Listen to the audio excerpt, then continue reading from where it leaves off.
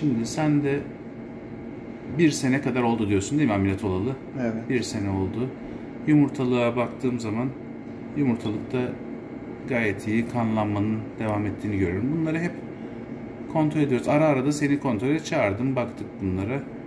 Ondan sonra hep iyileşmen iyi gitti. Erken dönemde fark edilmiş bir varikoseldi seninki. Yukarı doğru kanala baktığım zaman artık burada şurada sperm kanalını görüyorum. Buradaki damarlar e, kaybolmuş. Büyük damar kalmamış. Ondan sonra renkli Doppler modunda baktığım zaman atar damar atışlarını hem buradaki atar damar hem sperm damarın atar damarı bunları görüyorum ama o varisleşmiş büyük damarların kalmadığını görüyorum. Ondan sonra tamamen iyileşmiş bir varikosel bu. Ee, ıkınma yap bakalım bir. Evet, ıkınma yaptığında da belirgin bir ee, kısa süreli böyle bir reflü olabilir ama belirgin bir şey kalmadığını görüyorum. Güzel. Buna tamamen düzelmiş varikosel denebilir. Denebilir değil değil. Zaten deriz e, sperm tahlilinde de düzelme oldu değil mi? Onu da şimdi bakarız tekrar.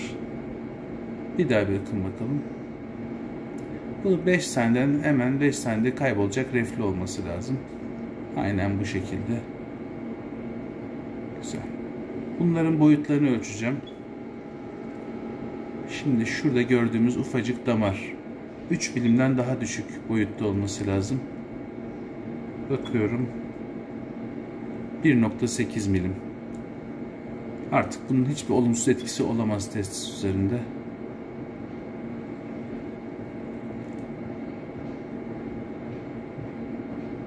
Gayet güzel.